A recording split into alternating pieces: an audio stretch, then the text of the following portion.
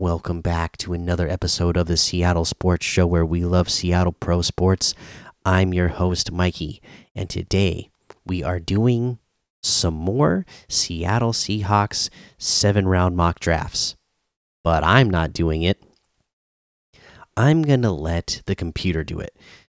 Some of you have been leaving some great suggestions for ideas on how to do some of these uh, mock drafts for fun. Um, and we're definitely going to do some of those. But I had another idea that I'm going to do here today first that uh, I think could be fun. Uh, I guess we're about to find out. Uh, and I'm not actually going to be doing the drafting. I'm just going to let the simulator do all the picks, and then we're going to see how we like it. Uh, well, I'm going to run a couple because this goes very fast. So I'm going to run a couple we will see how we like them and uh, then you guys can tell me if you think the simulator did a better job than me in any of my previous ones. Um, and we can even decide which of these that we think uh, is the best overall because i think i'll run like three of these because it'll it'll go fast. All right? So i i I'm just letting the simulator do every single pick here. So let's jump in, and uh, when it gets to the end, we'll um, take a look at the list of what they decided to do for the Seahawks.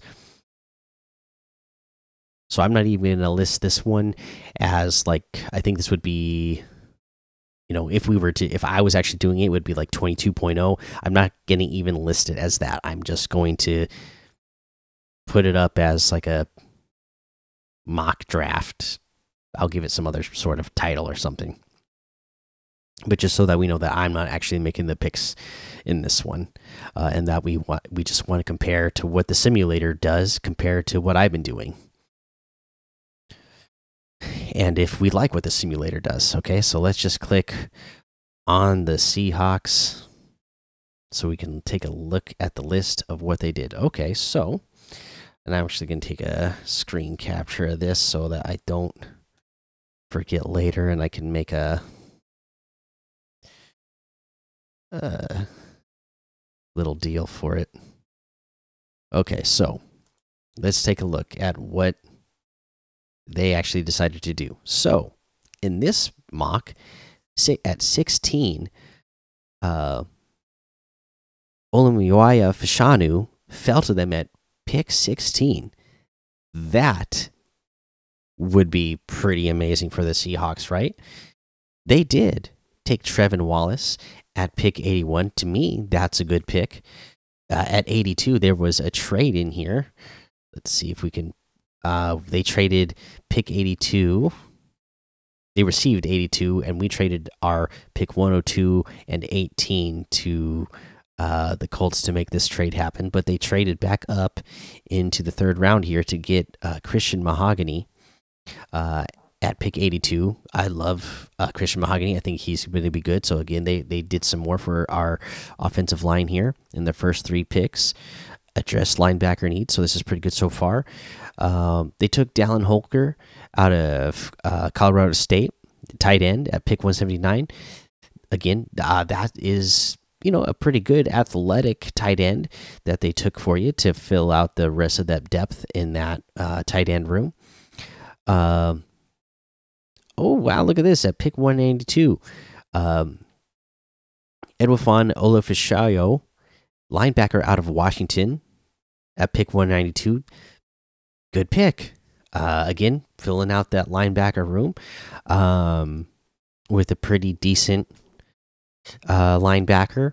And then at 235, they got another center out of Michigan, Drake Nugent. So now we will have two Michigan centers uh, competing for a spot, uh, that center spot on our line with, uh, you know, uh, uh, Olu and Drake Nugent now. All right, so there you go. There is Mock 1. Uh, you know, leave it in the comment, put like Mock 1 and then put your grade next to it. So we know what what we think about uh, this first mock that the simulator did for us. And let's run another one. Okay. Again we'll go seven rounds and we're going to see what the simulator does and see what it does different the second time if anything if anything different happens and uh, if we like it.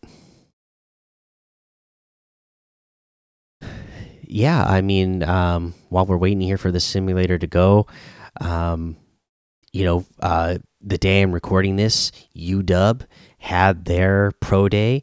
Uh, we saw John Schneider there, and uh, this afternoon we saw a lot of teams from around the league at Washington's pro day. No surprise because of Michael Penix, because of Rome Odunze, because of Rosengarten, uh, because of um, uh, why am I drawing a blank on the names? But because of all the names that uh, there were uh, on Washington's team in general. I mean, you know, 13 people at uh, the combine, again, only behind Michigan's 18, uh, record setting 18.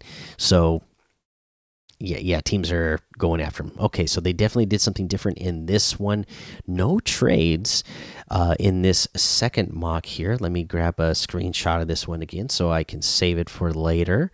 Um, and beep boop, there we go. Let's take a look at what they did now. So they went with Dallas Turner, edge out of Alabama at pick 16. I do think so. This, again, to me, this is one of the players where that is one of the top edge players in this draft. If the Seahawks really want him, they can take him. There might be another team that wants him uh, as well. We know Nwosu. Uh, John Schneider said he's going to be back and he's healthy. Uh, Boye Mafe, if he continues to develop the way he has in his first two years of his career, you're going to be very happy with that. Um, you know, and uh, you know, we'll, we'll, see what else they decided to do on the draft. But this is a guy that, if you can get a haul for him, because he will be one of the top edge players in this draft, if you can get a haul for him, even if, uh, I mean, to me, a haul at that point would be, you know, if like you're trading with somebody else at the end of the first and they're also going to give you like a second round pick, then that that's the type of player that, um, I would be willing to do that with, but I would also understand taking him. So that's what the simulator did in this one. They took Dallas Turner, 81, take Miss, uh, Miss uh, Christian Mahogany. uh, again, glad that they're taking somebody uh, that I really like to fill that um, offensive line room. Uh, Mekhi Wingo, defensive tackle out of LSU at pick 102 okay, I mean it's pick 102, so at that point you are in uh, to the fourth round.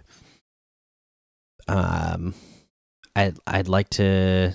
I'm gonna re reduce this. We're gonna go into the fourth round here, and I'm gonna kind of see who else was available around there based off of what other people take. I like McKinnley uh, Jackson out of A and M. I like uh, DeWayne Carter out of Duke.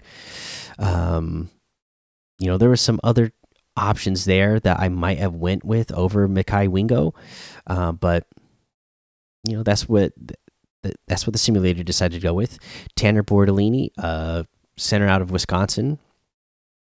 Uh, again, if you if you haven't picked up any offensive um, center at, at that point, that's not that's also not bad. But again, let me take a look at around here who you know who else was still available past pick 118, 118 if anybody was there. Um, oh, they even passed on Maason Smith out of LSU earlier on that other one. But anyways, um, okay, maybe maybe maybe Bortolini was a, a, a pretty good pick for them there. Um, in round four, based off of seeing what other, eh, although Mason McCormick did go at 152 in this simulator. So I don't know. I mean, pretty decent pick, I suppose. Um, there at 179, they get Emani Bailey out of TCU, the running back. Uh, not sure about that. And then they went with Hunter Nourzad uh, out of Penn State. Uh, this another center.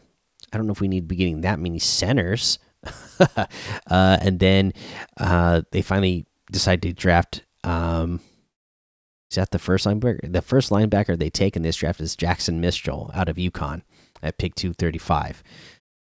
Uh, so again, put Mock 2 uh, and then your grade next to it and let me know what you thought of that one. And then let's run one more just so that we have three, right? Um, third time's a charm, maybe. So we'll run three of these and then, oh, oops, I don't want to select the Seahawks. I just want to let this thing do it. All right. Uh, but yeah, uh, again, now we're waiting again. That that UW Pro Day. I mean, you saw uh, Michael Penix Jr. Uh, run a 4 5 40, uh, 36 and a half inch vertical, um, dropping dimes on those deep passes like he's the best at in college football uh, the last couple of years. Looked good. Um, I'm glad that he's uh, you know, there was a time and period like right after the season was over where people were like, ah, maybe he's not going to be a first rounder. Maybe, you know, the injury history, his age, blah, blah, blah. And I was like, that guy is just too good. He's got too many skills and abilities. He's he's a he's a, a leader. Why would anybody pass on him in first round? Thankfully, I've been hearing more lately that um, you know, uh, he's getting back up to that point where teams are like, oh yeah, he should be a top twenty pick. So, um, ho hopefully he will be. Just because I, I think, I mean, if he even if he's not going to the Seahawks, I think he deserves to be a first round pick type of guy, uh, just based on the skills. Okay, whoops. Let's take a look at um, the final mock by the uh, by the simulator here that we're going to look at today. All right, so at pick 16, they take Dallas Turner again, the edge of Alabama. 81, they take Christian Mahogany again. Uh, this time, they do get some more offensive line help uh, before taking some other positions. All right, so this time they get Isaiah Adams, uh, offensive guard of Illinois, out of 1 or 2, and again, Mason McCormick uh, out of South Dakota State at pick 118. So, some good picks there, I think. Uh, again, really uh, uh, to me, Christian Mahogany can come in, uh, compete to be a starter right away, and then you do get a couple of guys filling out depth and competing for those depth spots, right? And then uh, at pick one, 179, a linebacker that I really like in this draft, um, Marist uh, Liufau uh, out of Notre Dame. You've seen me take him a lot in in past ones they go ahead and take Brennan Jackson, uh, our other edge player, out of uh, Washington State. Uh, so, you know, again, uh, getting some more depth uh, along that edge. And then at 235, Sundiata Anderson, edge out of Grambling State. So they get a couple of edge players here at the end of the draft uh, to. Um, yeah, fill out the the rest of the depth chart um, uh, uh, for that defensive line. So there you go. Uh, I better grab a screenshot before I forget on that one as well. And that is Mock 3. So uh, again, put Mock 3 uh, in the comments and your grade next to it and, and let me know what you think. And now that we've seen three mocks uh, by this simulator, uh, in the comments, I gotta know what do you think of the simulator versus me? All right, so um, what do you, what do you think of what I did uh, in the past 21 mocks that I've done? You know, are any of these three better than any of the 21 that I've done that you say, yeah, uh, this simulated mock draft is better than every single one of yours, uh, and this is the one I would want them to go with? Or is there one of the past 21 that I've done where you say, no, this is still uh, one I prefer? And I would love to know uh, which one out of the 21 that I've done that you uh, prefer the most uh, versus uh, what the simulator did here, all right? So there you go. Just a fun little thing to do here, and one that uh, you know, made it easy for me and on my brain. I I'm also recording this the night after Mariners uh, opening day, so I'm still coming down off of that high. So I thought, you know what, this will be a, easy way for me to not have to think uh, too hard because my mind is still on the baseball game. But um, here we are with uh, this mock, and uh, I'd love to know the answer to all those questions. Grade all three of those mocks. Uh, grade me uh, against the simulator. Who who do you think did who's who's done a better job for the Seahawks, uh, me or the simulator? All right, and uh, yeah, uh, we're at about 150 subscribers now, so I'd love to you know see the next time I open up this app and uh, see how many subscribers I have. I'd love to see that 150. So please hit that subscribe button, hit the like button, leave those comments. If you're listening on a podcast version, Apple Podcasts or Spotify, please hit the follow or subscribe button and then leave a five star rating and a written review because that, uh, all of that, uh, helps the show grow and I really appreciate it. So thanks for listening to the Seattle Sports Show where we watch legends awaken so take cover because with this sea of sound, you will see us rise to reign supreme and win forever.